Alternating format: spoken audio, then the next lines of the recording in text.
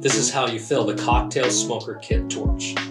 At the bottom of the torch is a valve. Make sure you're using a can of butane that has a needle nozzle on top.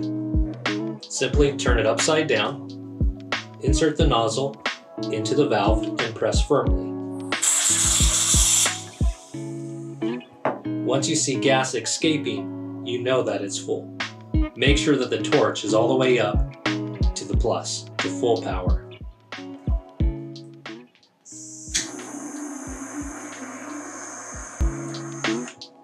You can lock the torch by pressing down the trigger and pressing up on the lock button. This allows more flexibility when using the torch. When you're ready to turn it off, simply push it back in to the off position.